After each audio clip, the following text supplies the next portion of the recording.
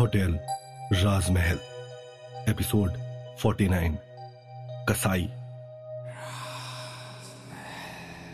वहीं कमरा नंबर 3012 में विक्रम ने आदित्य सिंह की लाश में तब्दील हो चुकी बॉडी को बिस्तर से अब तक उतार लिया होता है और शालिनी को कमरे के अंदर एंटर करता हुआ देखकर विक्रम उससे कहता है, जल्दी करो और दरवाज़ा अंदर से लॉक कर दो।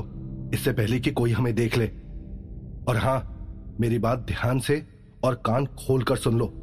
चाहे जो कुछ भी हो जाए, चाहे कोई भी दरवाज़ा कितनी भी ज़ोर से क्यों ना खटखटाए, तुम ये दरवाज़ा हर गिज हर गिज मत खोलना।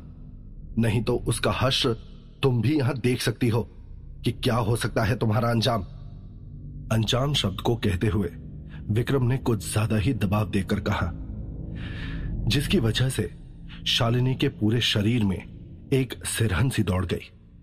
विक्रम की बात सुनने के बाद शालिनी ने दरवाजे के बाहर डू नॉट डिस्टर्ब का बोर्ड भी लगा दिया, जिससे कोई भी उन्हें परेशान न करे। और फिर वहीं विक्रम, आदित्य सिंह की बॉडी को बड़ी ही बेरहमी के साथ घसीटता हुआ बाथरूम की तरफ़ ले जाने लगता है और बाथरूम में एक किनारे आदित्य की बॉडी को ज़ोर से पटक देता है, क्योंकि आदित्य की जान तो पहले ही जा चुकी है। और फिर विक्रम वही तेज धार नाइफ उठाता है, जिसे शायद कारीगर ने बनाया तो किसी और चीज़ को काटने के लिए था। आदित्य सिंह की बाथरूम में पड़ी बॉडी और बुचर नाइफ का विक्रम रावत के हाथों में होना इस बात की पूरी पूरी गवाही दे रहा है कि आगे कुछ बहुत ही खतरनाक मंजर नज़र आने वाला है। विशाल और दिव्या भी बुचर नाइफ को देखकर हैरत में आ जाते हैं, क्योंकि जितनी बेरहमी से विक्रम रावत ने आदित्य का खून किया था। उसके लिए बुचर नाइफ का इस्तेमाल कुछ और हैरत अंगेज करने में ज़्यादा मुश्किल भी नहीं होगा। और फिर अगले ही पल, तेज धार बुचर नाइफ विक्रम की आँखों में चमक उठता है। और अगले ही पल खच्च की पहली आवाज़ के साथ सफ़ेद बाथरूम के टाइल्स पर खून के धब्बे छिटकते ही चले जाते हैं। आखिर में विशाल और दिव्या को जो डर था वही हुआ। क्योंकि विक्रम इस लम्हे में जैसे बिल्कुल एक कसाई की तरह नज़र आ रहा है और इस काम को करते हुए, अंजाम देते हुए उसके हाथ जरा सा भी काँप नहीं रहे हैं। और उसी के साथ खच खच की आवाज़ उस बाथरूम में काफ़ी देर तक गूंजती चली जाती है, जैसे कि विक्रम की आँखें और उसका जिस्म बिल्कुल पत्थर का बना है। वो उस तेज धार बुचर नाइफ से आदित्य सिंह की बॉडी के कई टुकड़े करता चला जाता है। इतनी बेरहमी विक्रम के अंदर बसी हुई है, ये किसी भी आम इंसान को बिल्कुल विश्वास नहीं होगा। क्योंकि ऐसा मंजर अपनी आँखों से देखना भी आसान नहीं है। शालिनी, ये सब अपनी आँखों से देख नहीं पाती है और मीतली आने की वजह से वहीं फ्लोर पर खड़े खड़े वो उल्टी कर देती है। वहीं बाथरूम में तो जैसे खून का सैलाब नज़र आ रहा है। हर तरफ़ खून ही खून, लाल, गाढ़ा खून। जैसे ये जगह बाथरूम ना होकर कोई कसाई खाना हो, और विक्रम के बॉडी पर भी खून के धब्बे ही धब्बे नज़र आ रहे हैं। अब तक उसका पूरा का पूरा चेहरा खून से नहा चुका है। आदित्य के बॉडी के बेरहमी से कई सारे टुकड़े करने के दौरान उसकी बॉडी की कई आंतड़ियाँ और किडनी वगैरह भी ज़मीन पर गिरकर सिर्फ़ आदित्य की मजबूरी का हाले बयां कर रहे हैं। और ये विभत्स और हैरान करने वाला नज़ारा देखकर शालिनी तो क्या किसी आदमी को भी उल्टी आ सकती है? और फिर आदित्य के पूरी बॉडी के कई दर्जन टुकड़े करने के बाद एक सफ़ेद रुमाल से अपना चेहरा पोछते हुए विक्रम शालिनी से कहता है हमें इस बास्टर्ड के इन बॉडी पार्ट्स को हाइड आउट करना होगा। कहीं ठिकाने लगाना होगा हमें इसे, ताकि किसी को भी मालूम ना चल सके कि हमने क्या किया है इसके साथ। विशाल अपनी फटी फटी आँखों से बाथरूम के अंदर का नज़ारा देख रहा है। इस लम्हे में वो जगह इतनी ज़्यादा डरावनी नज़र आ रही है कि वो दहशत में अपनी आँखें बंद कर लेता है। और दिव्या की भी कुछ ऐसी ही हालत है। वो बुरे तरीके से काँप रही है। वो अपने मुँह से एक शब्द भी नहीं बोल पा रही है, जैसे कि उसकी ज़ुबान तालू से चिपक गई हो। और वहीं आदित्य के हर एक बॉडी पार्ट को हाथ, पैर, सर, गर्दन और भी कई कई हिस्सों को अलग अलग काली प्लास्टिक की पॉलिथिन में डाल दिया गया। और फिर पॉलिथिन को एक जगह पर इकट्ठा करके अब एक एक कर विक्रम सारे सबूत मिटाने लगता है। सबसे पहले विक्रम अपने खून से सने हुए कपड़ों को आदित्य के अलमारी में मौजूद कपड़ों से बदल देता है और फिर बिस्तर को बदलता है, जहाँ पर आदित्य की मौत को अंजाम दिया गया था। बिस्तर पर मौजूद खून का एक एक कतरा मिटा देता है। फिर सफ़ेद संगमरमर का फ्लोर जहाँ से विक्रम आदित्य की बॉडी को घसीट कर ले गया था। और फिर बाथरूम। बाथरूम में मौजूद खून के एक एक कतरे को बहा दिया जाता है। विक्रम वहाँ एक भी जगह ऐसी नहीं छोड़ता, जहाँ से यह पता चल सके कि इसी कमरे में बॉलीवुड के फ़ेमस एक्टर आदित्य सिंह की जान गई और उसकी लाश को बेरहमी के साथ अलग अलग कई दर्जन टुकड़ों में काट दिया गया। और फिर उन प्लास्टिक की थैलियों को, जिसमें आदित्य सिंह की बॉडी पार्ट्स मौजूद हैं, उन्हें होटल के अलग अलग हिस्सों में जानबूझकर विक्रम और शालिनी ऐसी ऐसी जगह पर छुपा देते हैं, जहाँ पर किसी की भी नज़र ना जाए, चाहे वो छत का कोई हिस्सा हो, या फिर होटल का एक स्टोर रूम या फिर ऐसा कमरा, जहाँ पर कोई भी ना जाता हो।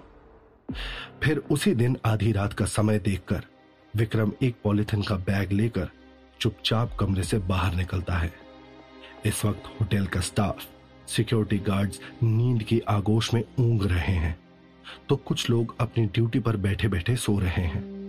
मौका देखते ही विक्रम होटल के किचन में जाता है और वहाँ पर मौजूद बड़े बड़े फ्रीजर्स में रखे गए मीट के बीच आदित्य के शरीर के टुकड़ों को बारीक बारीक काटकर बाकी के मीट के साथ मिला देता है। जिससे किसी को भी ये पता ना चल सके कि मीट के साथ आदित्य की बॉडी के पार्ट्स भी छिपे हुए हैं। और फिर, बिना किसी को कुछ भी मालूम चले, आदित्य की सारी बॉडी पार्ट्स को अच्छे से कुछ ही वक्त में ठिकाने लगा दिया जाता है। और आज शूटिंग का ऑफ़ डे होता है, इसलिए सुबह सुबह से ही शूटिंग को लेकर हुल्लड़बाजी भी नहीं होती है। सब लोग मज़े से देर रात तक शराब के नशे में चूर थे। इसलिए सुबह के 10-11 बज जाने के बावजूद भी होटल का कोई भी क्रू मेंबर अपने अपने कमरों से बाहर ही नहीं निकलता है। सब लोग अपनी अपनी छुट्टियों को एंजॉय कर रहे होते हैं। वहीं दोपहर हो चुकी है और आदित्य सिंह कहीं भी किसी को भी नहीं मिल रहा है, जिस वजह से डायरेक्टर कौशिक घोष बेहद ही परेशान हो जाते हैं। वो न जाने कितनी ही बार आदित्य सिंह का नंबर डायल करके देख चुके हैं। लेकिन आदित्य का कॉल ही नहीं लग पा रहा है। वहीं बार बार फ़ोन पर एक ही रिकॉर्डेड आवाज़ सुनाई देती है। The number you have dialled is currently not answering your call please try again later वहीं आदित्य के कमरे में भी जाकर सारे के सारे क्रू मेंबर देख चुके हैं, लेकिन वहाँ भी आदित्य का कोई पता नहीं चल रहा। ये सब कुछ विशाल और दिव्या होटल राजमहल में एक एक करके फ्लैशबैक की तरह देखते जा रहे हैं। उन्हें सब कुछ मालूम है कि कातिल कौन है और कौन कौन इस कत्ल में शामिल है। यहाँ तक कि आदित्य सिंह की बॉडी के साथ क्या हुआ, वो भी। लेकिन इस सात साल पहले हो चुकी घटना को वे लोग जरा भी बदल नहीं सकते, क्योंकि पुरानी घटनाएँ और बीता हुआ वक्त लाख कोशिशों के बावजूद भी बदला नहीं जा सकता। वहीं दोपहर बारह बजे, कौशिक घोष ने शालिनी त्रिवेदी को बुलाकर पूछा, शालिनी, क्या आपने आदित्य को कहीं देखा? क्योंकि सुबह से उनका ना कॉल लग रहा है, ना ही उसकी कोई खबर मिल रही है। यहाँ तक कि उनकी वाइफ तक को नहीं पता कि आदित्य कहाँ है, और ना ही वो हमारे क्रू मेंबर में से किसी को कुछ बताकर गए हैं। कौशिक घोष की इन बातों पर शालिनी ने ऐसा प्रिटेंड किया जैसे कि उसे कुछ भी नहीं पता। और बिल्कुल नेचुरल और सिंपल सा दिखते हुए उसने कहा I don't know sir actually मुझे भी कोई आइडिया नहीं है। वैसे भी पिछली रात, वो मेरे कमरे में आए थे। वी बोथ शेयर ड्रिंक रात को तकरीबन एक डेढ़ बजे वे अपने कमरे में लौट गए थे। इसके अलावा तो मुझे कोई भी आइडिया नहीं है। वहीं आदित्य को मारने और उसकी लाश को ठिकाने लगाने के बाद विक्रम रावत तब तक वहाँ से जा चुका था, जैसे कि वो वहाँ कभी होटल राजमहल आया ही ना हो। और उसी तरह से शाम तक आदित्य सिंह का इंतज़ार करने और कई सारे कॉल करने के बावजूद भी जब आदित्य का कहीं से कुछ भी पता नहीं चल पाता, तब होटल राजमहल में पुलिस दाखिल होती है और होटल राजमहल में आदित्य के पूरे कमरे की तलाशी लेती है। लेकिन कुछ भी ऐसा बरामद नहीं होता। जिससे यह पता चल सके कि आदित्य सिंह कहाँ गया है और उसके साथ क्या हुआ और आखिर वो किसी को क्यों नहीं मिल रहा है। यहाँ तक कि सीसीटीवी फुटेज को भी खंगाल कर देखा जाता है। लेकिन एक तो रात का वक्त था और बेहद ही कम रोशनी कॉरिडोर में होने की वजह से कैमरे में कुछ भी साफ़ साफ़ रिकॉर्ड नहीं हो पाया होता है। तभी सीसीटीवी फुटेज देख रही एसीपी सिंह की आँखें एक वीडियो पर आकर अचानक से ठहर जाती है। इस वीडियो में साफ़ साफ़ नज़र आ रहा है कि एक लंबे चौड़े कद काठी का आदमी कमरा नंबर 3012 की तरफ़ बढ़ रहा है और इसी वीडियो को देखने के बाद ही एसीपी सिंह की नज़रें उस वीडियो को जूम इन करने को कहती हैं। यह आदमी कौन है? देखो। आ, जरा जूम इन करो। शायद इसके बारे में कुछ पता चल जाए। लेकिन जूम इन करने का भी कोई फ़ायदा नहीं होता। क्योंकि वीडियो में नज़र आता ये आदमी हैट लगाए हुए पीछे की तरफ़ खड़ा है, जिससे उसका चेहरा बिल्कुल ही नज़र नहीं आ रहा। और आगे रिकॉर्डिंग धीरे धीरे ब्लर होने लगती है। और फिर वीडियो पूरी तरह से धुंधला पड़ जाता है, क्योंकि उस आदमी ने जानबूझकर कैमरे के सामने कोई कपड़ा रख दिया था। डैम! एसीपी सिंह ज़ोर से चिल्लाते हुए कहते हैं अब कैसे पता चलेगा कि ये आदमी कौन था? और क्या वाकई में आदित्य के मिसिंग होने में इसी का हाथ है? वहीं, तब तक होटल राजमहल के बाहर पूरी मीडिया कवरेज होने लगी है। और सारे न्यूज़ चैनलों और न्यूज़ पेपर में सुपरस्टार आदित्य सिंह की मिसिंग को लेकर खलबली मच चुकी है। और कुछ रिपोर्टर्स होटल राजमहल के अंदर दाखिल होने की कोशिश भी करते जा रहे हैं। लेकिन होटल के स्टाफ उन्हें ऐसा करने की इजाज़त नहीं दे रहे। कुछ मीडिया वाले आदित्य सिंह के वाइफ का इंटरव्यू भी लेने में मशरूफ है। लेकिन आदित्य सिंह के बारे में कहीं कोई भी खबर उन्हें हासिल नहीं हो पा रही होती। वहीं दूसरी तरफ़, कुछ दिनों तक इस केस के बारे में ज़ोर शोर से जाँच पड़ताल चलती रहती है, लेकिन कहीं भी कुछ भी हासिल नहीं होता और ना ही आदित्य सिंह के बारे में किसी को कुछ भी पता चल पाता है। आखिर में पुलिस डिपार्टमेंट को कई हफ्तों तक जाँच पड़ताल करने के बाद इस केस को बंद कर देना पड़ता है। वहीं ये सारी आप बीती जान लेने के बाद विशाल और दिव्या एक दूसरे की तरफ़ देख ही रहे होते हैं। तभी अचानक से उन्हें वहीं कटा हुआ हाथ कॉरिडोर पर नज़र आता है, जो उनकी तरफ़ ही बढ़ा चला आ रहा है। और वो हाथ अचानक से बढ़ते हुए कमरा नंबर 3012 के सामने रुक जाता है। ये देखते ही विशाल और दिव्या अपने आप ही समझ जाते हैं कि उन्हें आगे आदित्य सिंह की आत्मा को ही मुक्ति दिलानी है। विशाल हाथ की तरफ़ देखते हुए कहता है, मैं जान गया हूँ कि आप कौन हैं और आपके साथ क्या हुआ था। इस पर वो हाथ अपनी उंगलियों को ऊपर नीचे करता है, जैसे कि उनकी बातों पर अपनी सहमति जता रहा हो।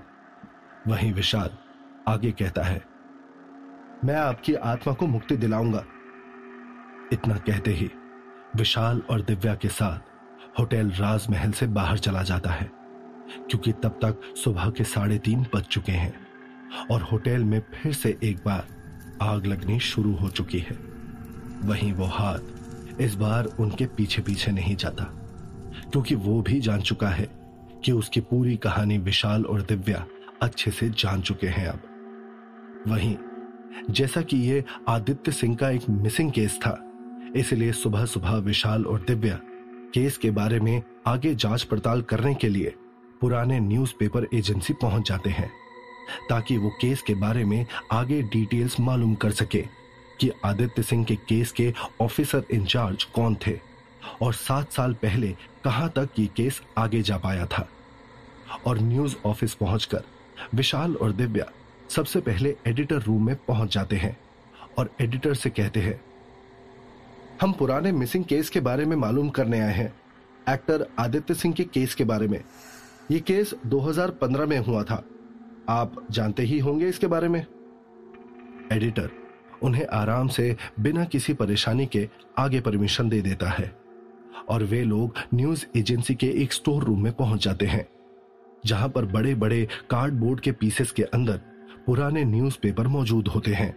और विशाल और दिव्या आगे कई सारे न्यूज़पेपर के फाइल्स को खंगालते हुए आखिर में 2015 के न्यूज़पेपर को और पूरे इंसिडेंट को डिटेल में पढ़ने लगते हैं। विशाल न्यूज़पेपर को पढ़कर दिव्या को सुनाने लगता है। आदित्य सिंह का केस सिर्फ़ एक पेंडिंग केस ही है। आदित्य सिंह आज भी मिसिंग है। उसके साथ मर्डर हुआ या क्या हुआ कोई नहीं जानता। और पुलिस आज भी अभिनेता आदित्य सिंह को तलाश रही है।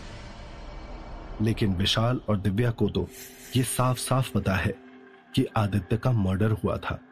और उन्होंने तो ये आप बीती अपनी आँखों के सामने भी देखी हुई है।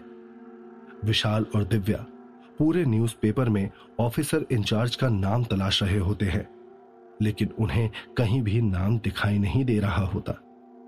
विशाल जैसे ही न्यूज़पेपर को नीचे रखता है तभी उसे एक नाम दिखाई देता है और विशाल एक बार फिर पेपर को उठाकर पढ़ने लगता है।